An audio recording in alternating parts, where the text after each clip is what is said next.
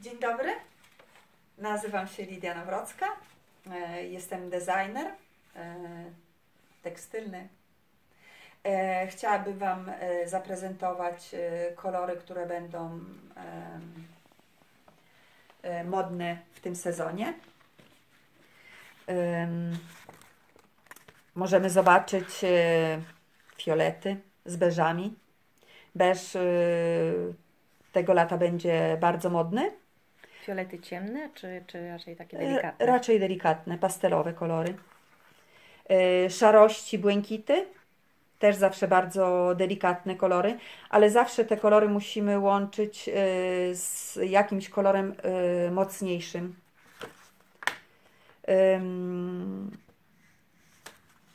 Beż, tak jak mówiłam, powraca zawsze tutaj na przykład widzimy z czerwienią. Czerwień też będzie tego lata bardzo modna.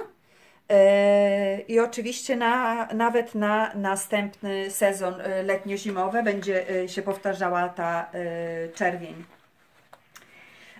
Tak jak w każdym sezonie mamy kolory bardzo jasne, pastelowe, ale są i te trochę bardziej mocniejsze, silniejsze kolory ale też tutaj, e, jak możemy zobaczyć, są błękity, e, kolory morza, wody i zawsze połączone z czerwienią, z pomarańczem. E, mówiąc o wodzie, chciałabym Wam pokazać właśnie mniej więcej jakie kwiaty co roku są, szczególnie latem, modne kwiaty. Mamy tutaj przykład e, kwiatów e, na lato, materiałów. Na sukienki, na spodnie? E, mogą być to na przykład to na, taki, na, na jedwabiu, może być na sukienkę, może być na szal.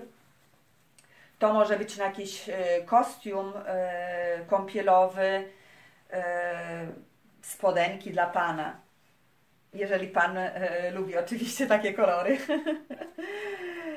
e, paski zawsze są modne. Oczywiście mówiłam o kwiatach. E, e kolory, jak e, możecie e, zobaczyć, są wszystkie bardzo takie pastelowe. Motywy kwiatowe, kwiaty muszą być bardzo takie kwiaty, ale nie kwiaty nawet. Że to musi być, y, że praktycznie widzimy te e, kwiaty, ale nawet jak gdyby z daleka, z bliska są to jakieś e, plamy rozmyte, rozmyte akwarelowe. Ale ogólnie duże wzory są modne, jeśli chodzi o kwiaty. Tak, duże kwiaty mogą być, tak jak pokazywałam, mogą być też bardzo silne, mocne kwiaty. Te to prawie takie w kolorach łowickich, poza y, Y, tłem, że jest bardziej takie delikatne, ale ta zieleń i pomarańcz y, są dość mocne. Oczywiście, tak jak w każdym sezonie, czy letnim, czy zimowym, y, bardzo modne są skóry. Nie wiem, jak to powiedzieć. Tak? To, ale to jest taka jak gdyby naprawdę skóra, ale trochę taka bardzo abstrakcyjna, mogłabym powiedzieć. i w kolorze i e, bardziej to są takie Czyli zwierzęce po prostu. Zwierzęce, tak. Motywy. Bardziej to mhm. są takie pociągnięcia pędzlem. Może się wydawać jak gdyby skóra, prawda? Mhm. No i formy jakieś e, geometryczne, oczywiście pasy. Wszystko w takich kolorach pastelowych. Jak przełamać kolor pastelowy? Czy ubierać się tylko w jednym Nie, zawsze jest tonacji? ważne, żeby mieć jakiś dodatek,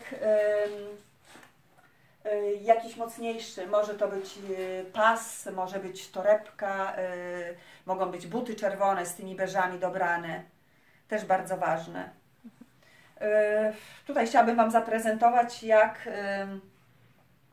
te wszystkie rysunki, co do tej pory pokazałam, y, są to ręczne rysunki, wykonane ręcznie. To jest też ręcznie wykonane. Można, tak jak można zobaczyć, jest tutaj mój obraz, który z kolei pracowałam na komputerze i zaprojektowałam ten szal. Szal może to być pareo, E, może to być szal, może to być, e, nie wiem, można nawet sukienka. Czyli nie tylko dodatki w, w motywach zwierzęcych, ale również y, y, mogą to być całe ubiory. Tak, oczywiście. Tak. Mhm.